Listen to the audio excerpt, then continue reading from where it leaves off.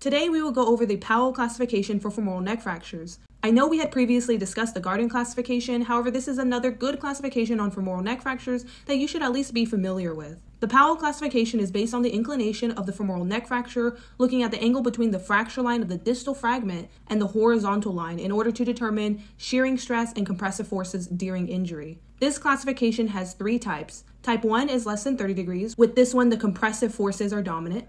Type 2 is between 30 and 50 degrees. And finally, type 3 is greater than 50 degrees, and the shearing force becomes more predominant as the inclination increases. With a type 3, you are more likely to have a varus collapse, and as you might expect, this one would be the most unstable and poses the highest risk for non union and avascular necrosis. And just because you might get pimped on what exactly the horizontal line is, here you can see the femur has both an anatomic and mechanical axis. The horizontal line is orthogonal to the anatomic axis. However, as a side note, there has been a recent modification to this horizontal line that states that it is necessary to adjust for the difference between the anatomic axis and the mechanical axis and gravity line. Thus, the recent modifications state that the horizontal line should be positioned about 9 to 10 degrees inferior to where it is now, as seen here. Nevertheless, the Pauwels classification is yet another good one to know if you want to be a standout student, and that is really the entire reason I'm making these videos, is to help you gain early exposure to topics at the core of orthopedics.